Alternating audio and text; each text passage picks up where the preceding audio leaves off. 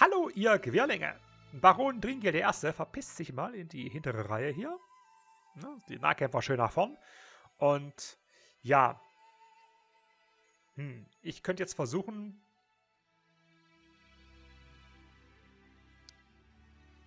hier oben die Outskirts zu beanspruchen. Aber ich glaube, ich mache das nicht. Das mache ich, wenn ich wirklich auf dem Rückweg in die Stadt bin. Ich will vorher ein paar Sachen mir äh, anschauen. Ich hätte hier was zu erkunden, äh, zu, zu, beanspruchen vielmehr, Loyalität. Und da unten wäre eine neue, ähm, eine neue Örtlichkeit. Dies ist eine der wenigen bekannten Furten durch den Skunkfluss. Trotz der geringen Wassertiefe ist die Strömung hier äußerst stark. Der kalte Fluss scheint begierig darauf zu sein, einem Reisenden den festen Boden unter den Füßen wegzuziehen, ihn unter Wasser zu reißen oder sogar seine Besitztümer zu den steinigen Stromstellen flussabwärts zu befördern. Während viele Reisende und Händler diese Furt nutzen, um den Fluss zu überqueren, legen ebenso viele Banditen ihre Opfer hier äh, ja, Hinterhalt. Okay, ja, Banditen. Banditen klingt gut. Aber das mache ich wirklich ähm, erst danach. Ja, geht erstmal dahin. Drei Stunden. Achso, macht er das nicht, oder wie? Ah, hier wäre dann der kahle Hügel. Ähm, da geht es auch weiter. Ne, zurück. Abbrechen. Zum kahlen Hügel gehe ich dann mal später. Hier. Früchte und Beeren. Bezahle 15 Baroniepunkte. 350. Ah, das ist okay, ja. Um diese Ressource zu beanspruchen. Es gibt äh, Loyalität plus 1.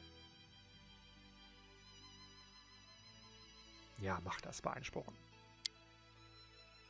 So. War's das jetzt?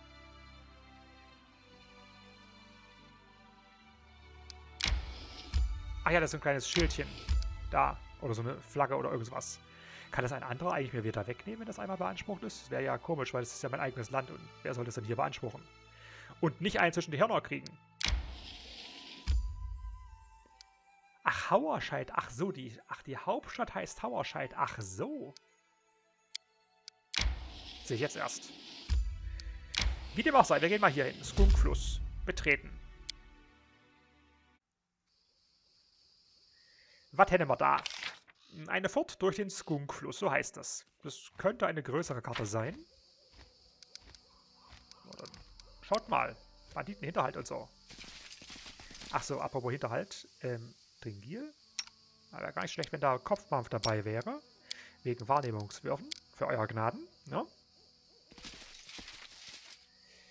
Hier wachsen Fliegenpilze.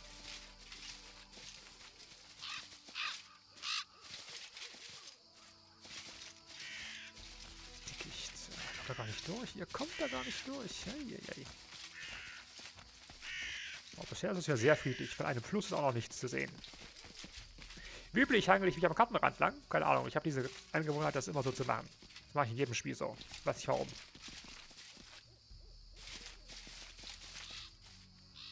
Schon wieder zu Ende?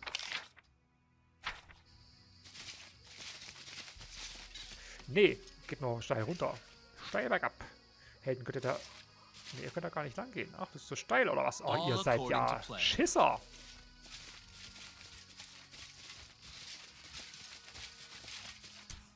Halt, was? Pause? Wie? Wo? Habt ihr jemanden gesehen? Ich habe nichts gesehen. Was ist denn los? Hä? Seht ihr hier was? Ich sehe nichts. Wieso wird hier eine Pause geworfen? Banditen, kommt heraus, zeigt euch. Lange keine Keilerei mehr. Der Herr Baron ist auf Krawall gebürstet. Außerdem möchte ich mir gerne das nächste Beute hier zusammen sparen. Wer bist denn du? Ein wilder Wolf. Stopp. So, trink ihn ein. Äh, du musst ein bisschen näher ran. Der wilde Wolf beliebt sich zu verziehen. Da, schieß ihm in, in den Schwanz. Dann. Ba, ba, ba, ba, ba. Was machst du für eine Scheiße? Eine 6 plus 15. Ach, die 6 plus 9, 15. Och, Mensch. Das ist hoffentlich kein äh, Omen hier für den Rest des Kampfes. Ah, das sind ja nur wilde Wölfe. Das müsste eigentlich gehen. Wiewohl du mal gern dir den Schild holen kannst.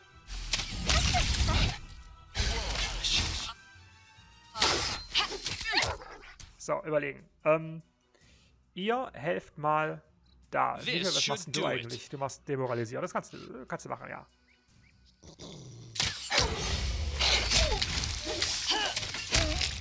Gut. Jetzt helft ihr mal dort.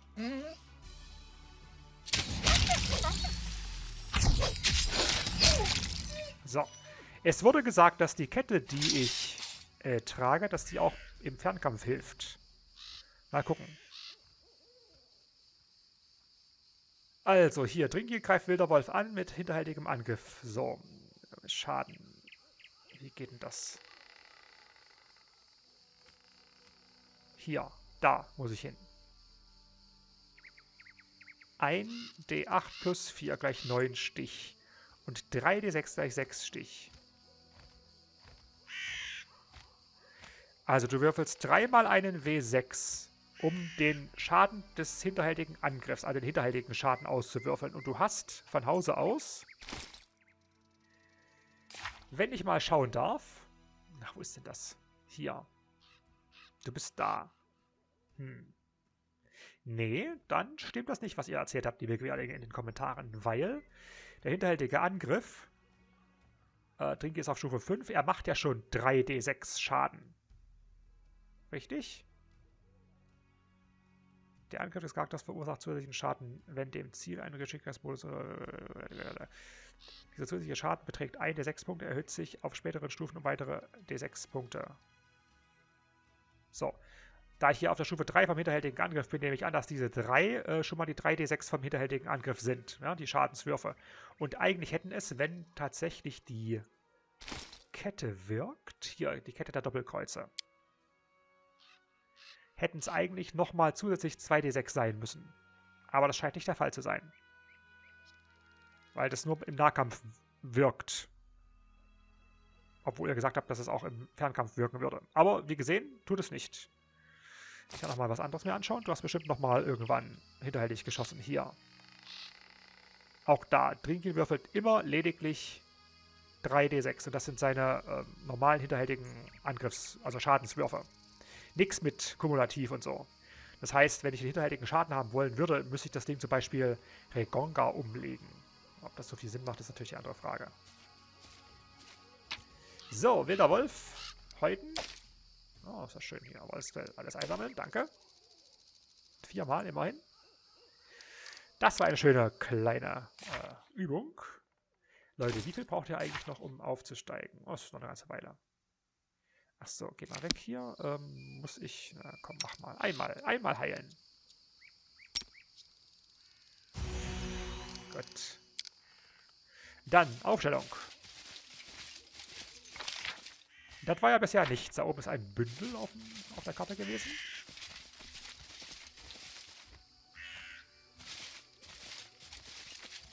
Findet ihr ein Geheimversteck? Kommt schon, Leute. Hier ist doch was. Da ist ganz genau. Da ist was, das sind Pilze. Nämlich? Das ist ganz normal Pilze zum Kochen. Ganz normale Pilze zum Kochen. Ja, ja, ja.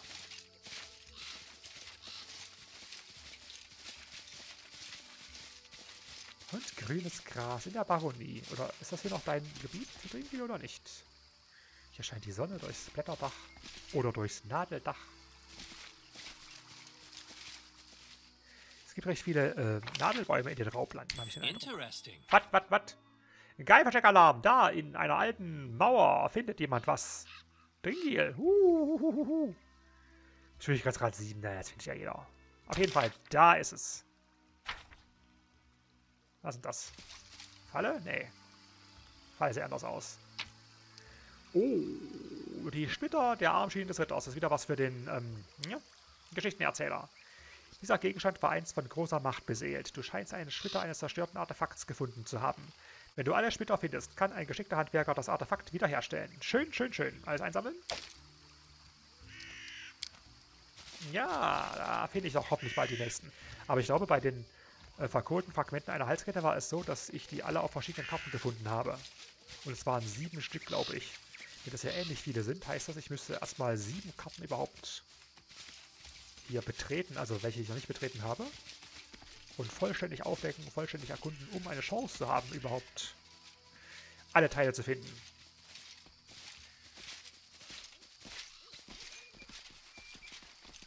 So, hier ist jetzt die Fort, oder wie? Also da oben habe ich jetzt nichts mehr gesehen. Hier ist ja wohl die Fort. Bleibt mal hier am Ufer. Patsch mal ein bisschen durchs Wasser. Hier komme ich gar nicht hin. Aha. Ich muss hier durchlaufen.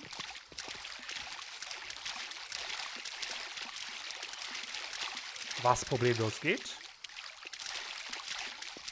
Und dann bekomme ich hier was. Am anderen Ufer bekomme ich gar nichts.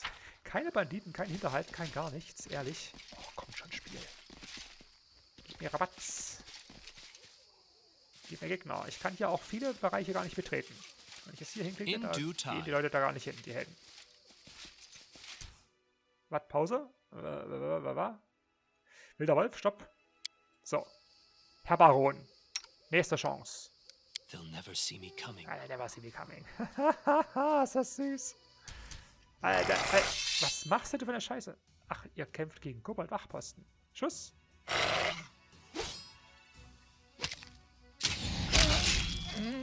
Wie gemein bist du denn? Ah, hier, schaut mal. Jetzt ist es anders. Jetzt ist es anders als gerade eben. Jetzt macht Trinki tatsächlich 5d6 Schaden. Ich habe mich nämlich gerade gefragt, wenn er 25 Schaden macht, das ist aber schon ziemlich viel. Ähm, das ist mit 3d6 ja, also 3d6 plus einem d8 kann man das natürlich schaffen, aber ist unwahrscheinlich, dass man so viel schafft. Jetzt ist es anders. Jetzt macht Trinki tatsächlich 2d6 hinterhältigen Schaden extra. Aber warum vorhin nicht? Es war doch beides hinterhältige Angriffe. Warum hat es vorhin 5d6 und jetzt nicht? Das ist also es scheint ab und an zu wirken. Das ist schon mal wichtig und gut. Attacke. Moment mal, ihr seid doch wohl irgendwie alle irre.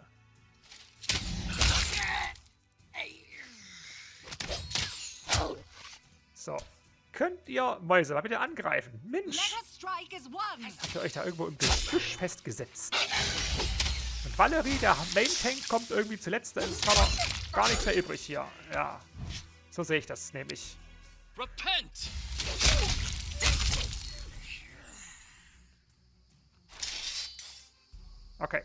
Nochmal gucken. Dringil, hast hier nichts gemacht. Da auch nicht. Aber was hat immer daneben geschossen? Der würfelt hier eine 3. Dann würfelt Dringil eine 5.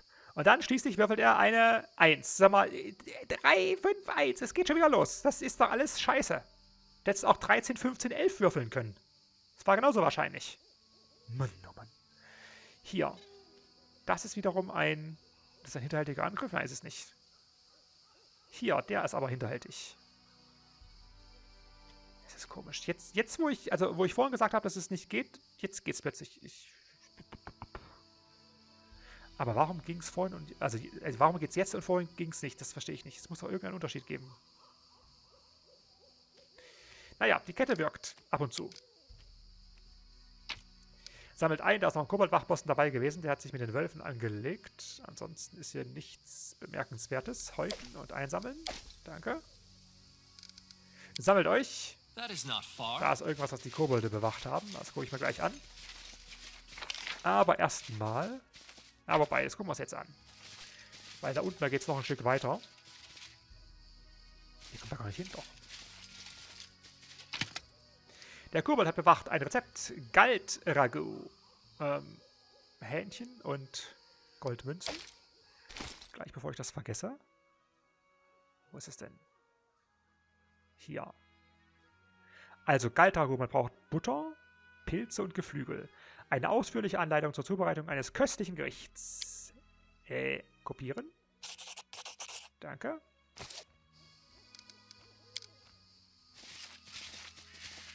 As it should be. Jetzt kann ich hier oben lang zurücklaufen. Aber da ist Kartenrand, glaube ich. Ich bin ziemlich sicher. Ja, da deckt ja gar nichts mehr auf. Kartenrand bis zum Weg. Das Interessanteste ist wahrscheinlich hier unten in diese abgeschirmte und ansonsten von anderer Seite aus nicht zugängliche Lichtung zu laufen. Mit viel Fantasie kann man es auch als einen kleinen Talkessel bezeichnen. Wo, der Herr Baron? Was findet? Fragezeichen. Seinen Tod? Nein. Sein Glück? Nein, aber ein Geheimversteck. Stopp, stopp, stopp, stopp, stopp. Geheimversteck-Alarm. Da, da, da, da, da. What's that? Amiri hat's geschafft. Schwierigkeitsgrad 19. Amiri, Dringil ist fast genauso weit weg. Hast du es wieder nicht geschafft? Ach, Mensch. Sperr die Augen auf, Dringil. Was ist denn das? Das ist ein Thorak-Anhänger. Ein Andecken einer längst vergangenen Zeit. Eine Antiquitäten, ein erfahrener Antiquitätensammler würde gewiss gut dafür bezahlen. Das ist wieder dann irgendeine Geschichte. Mhm, danke. Noch was hier? Ne, ihr kommt hier gar nicht näher ran. Gut, also. Da war dieser Anhänger, hier war das Rezept und Wölfe und Kobolde. Ansonsten war hier nichts. Da komme ich gar nicht hin. Ich kann versuchen, da oben am Kartenrand weiter lang zu laufen, um mir das noch anzuschauen. Mach das mal. Die Sonne scheint, die Pilze sprießen und irgendwer löst eine Pause aus. Ein wilder Wolf. Stopp. Herr Baron, darf ich bitten? Ah, jetzt geht er weg, der Wolf, der latscht immer weg. Kannst du von da aus nicht einfach hier über die Wiese gehen? Nee, es geht nicht, ja? Es wäre ja auch zu einfach. They never see me coming. Schuss. Wo bist denn du? Da war doch äh, gerade ein Wolf. Da. Blattschuss. Der, wirbelt eine 2. Dieser, dieser, diese magische Anziehungskraft der unteren äh, Hälfte des Würfels für den Herrn Baron. Es ist unglaublich. So, hier. Oh, da ist ein Helferwolf dabei. So. Wo ist der Main Tank? Wo bist denn du? Ach, du stehst falsch. ist egal. Da muss Amiri den tanken. Du dort. Und ihr helft ihm. Und du machst schon mal hier den da.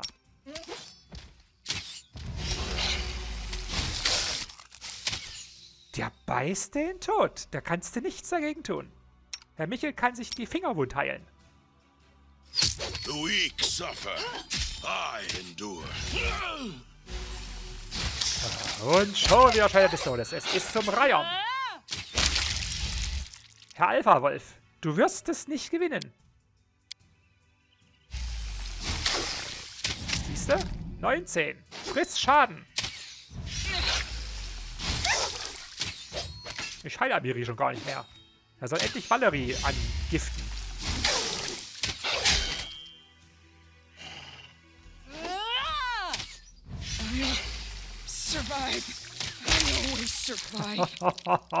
Voll in die Schnauze. Huh. Das war aber ein ganz normaler, es war nur ein kritischer Treffer. Es war kein hinterhältiger Treffer. Yes, was hat er drin gewürfelt? Wieder die Eins.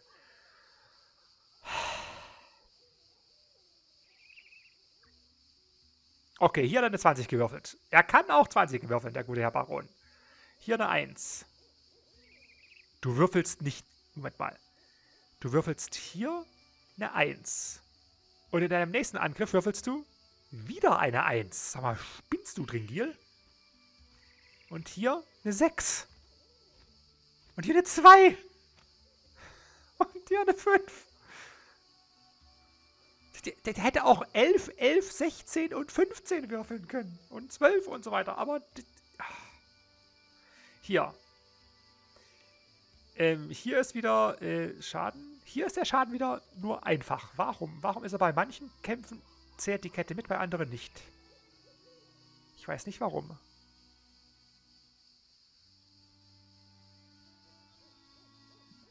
Das ist mir nicht begreiflich.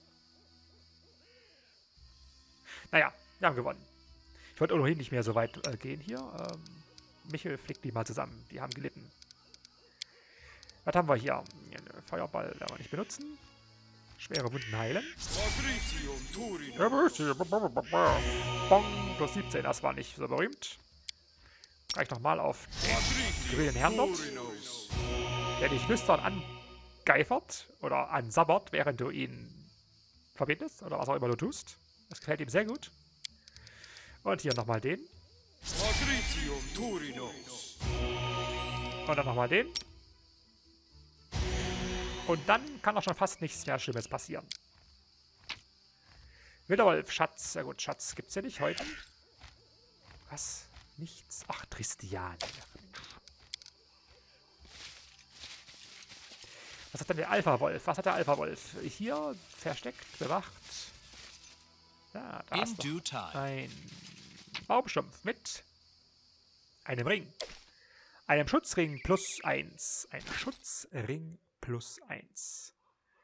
Das war Ablenkungsbonus, Rüstungsklasse und so weiter. Kann den noch irgendjemand benutzen? Du hast doch sowas garantiert schon. Genau, das ist nicht kumulativ, heißt es ja. Exakt.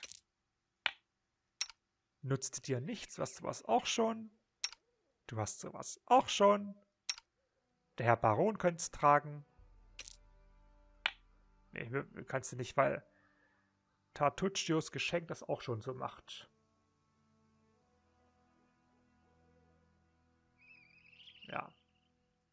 Tartuccios Geschenk macht genau das gleiche, was auch ein Schutzring plus 1 macht, halt nur ein bisschen mit anderem rollenspielerischen Hintergrund. Aber du, du kannst es vielleicht benutzen. Ja, bei dir wirkt es. Dann äh, herzlichen Glückwunsch, Octavia. Kommt schon, schaut euch um. Wir finden noch was Schönes. Ein paar Kräuter zum Würzen. Nee? Wollte ich ja gar nicht runter. Ja, da wollte er gar nicht. Also ihr wollt echt da hinten nicht hin? Ehrlich? Helden? Ich krieg ja schon, aber sie gehen dann maximal da in die Nähe. Hm. Okay, nee, dann, dann, dann, dann kehrt Marsch. Das bringt ja nichts. Dann war das hier wohl die Furt. So ein paar Kämpfe gegen Wölfe.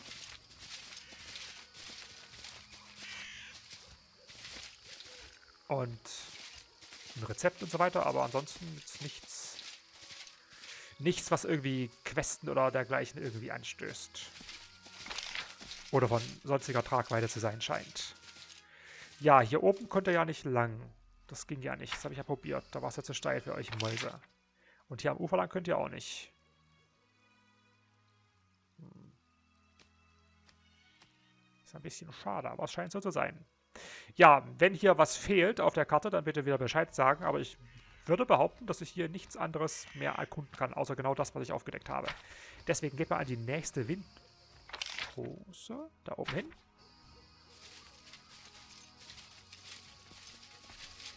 Dann geht es nämlich auch schon wieder raus auf die Überlandkarte.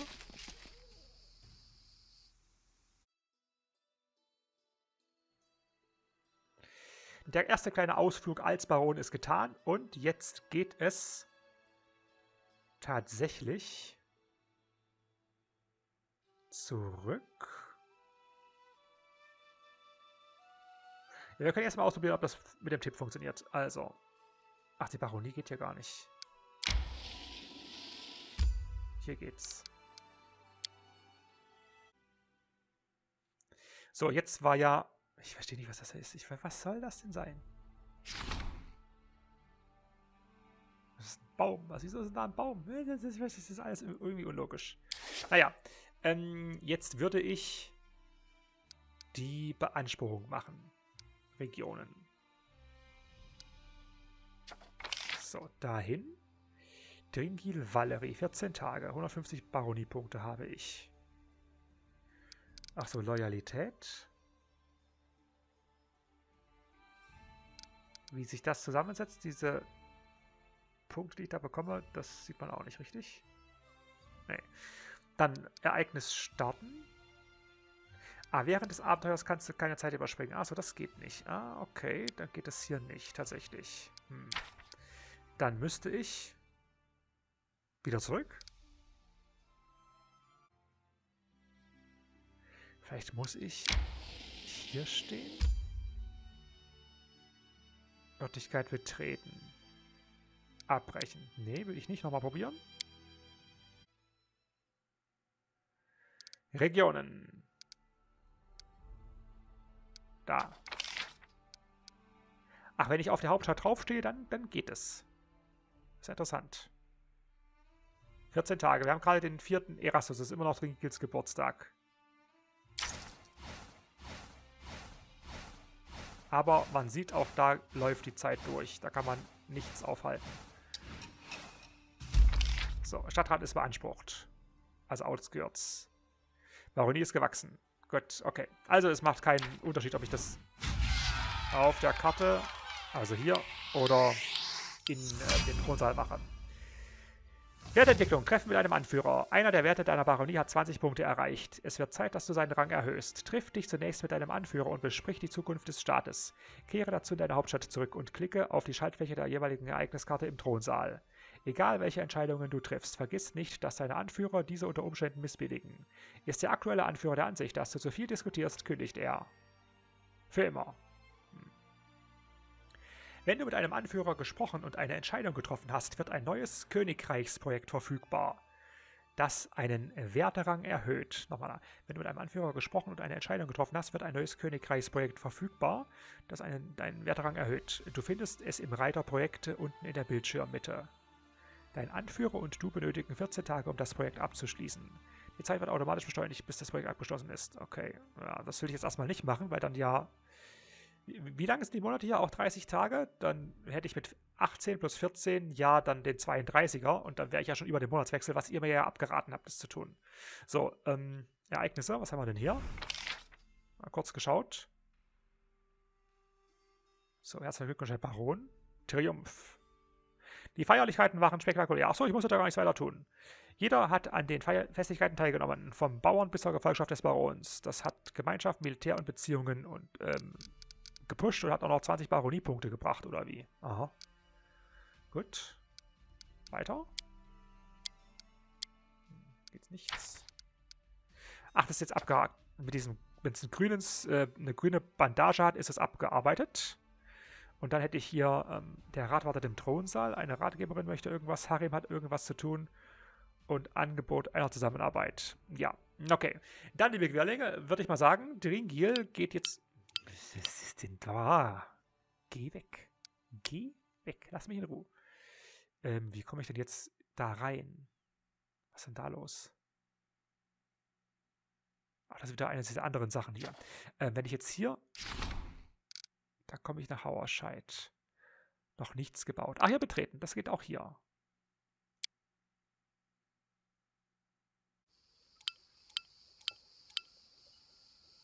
So, Gebäude bauen. Da geht hier weiter. Du kannst nützliche Gebäude errichten, um die Werte deiner Baronie zu erhöhen. Jedes Gebäude hat Baukosten in Baroniepunkten und eine Bauzeit. Du kannst mehrere Gebäude gleichzeitig bauen. Um mit dem Bau zu beginnen, wähle von der Liste auf der rechten Bildschirmseite das gewünschte Gebäude aus und positioniere es auf einem freien Platz in der Siedlung. Aha, weiter.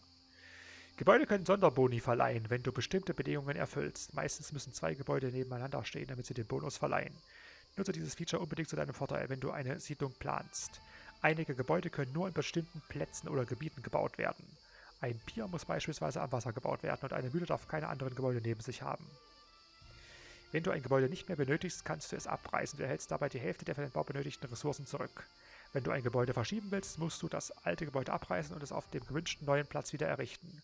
Du musst dafür keine zusätzlichen BP ausgeben, musst jedoch warten, bis der Bau am neuen Standort abgeschlossen ist. Aha. Oh, in der Ansicht war ich noch nicht, tatsächlich. Das ist Hauerscheid. Aha, okay, hier gibt es halt so ein paar Ecken, wo Leute siedeln. Ansonsten ist da nicht so besonders viel los. Ansehen, das ist Bauen. Was kann ich denn bauen? Ballsaal, Brauerei, Holzmauer und so weiter. Ja. Okay, das muss ich mir, äh, das muss ich mir später anschauen. Geh mal hier weg. Nee, also von der Kartenansicht der Baronie aus komme ich nicht äh, in die Stadt rein. Dann komme ich in den Baubildschirm. Nee, also weg hier. Und hier auf der Karte, da kann ich reinlaufen. Betreten. Wie kann ich nicht? Ach doch, kann ich schon. Ach, jetzt habe ich jetzt hier... Ich kann Sowohl als auch. Dann geh gleich mal in den Thronsaal.